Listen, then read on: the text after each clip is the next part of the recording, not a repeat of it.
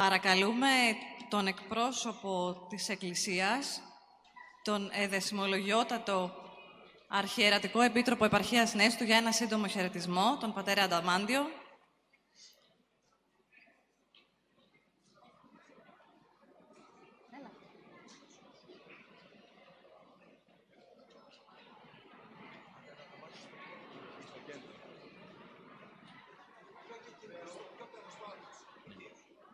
Μεταφέρω την ευχή του Σεβασμιωτάτου Μητροπολίτου μας Κυρίου Στεφάνου και τη χαρά μας, τη χαρά όλης της Εκκλησίας που σας βλέπουμε εδώ όλους μαζί, ενωμένους, μαζί με τα παιδιά μας, τα νιάτα μας, τα οποία έχουμε μεγάλη σήμερα ανάγκη ένα παραπάνω να είναι κοντά στις, στην πίστη μας και στις αξίες μας.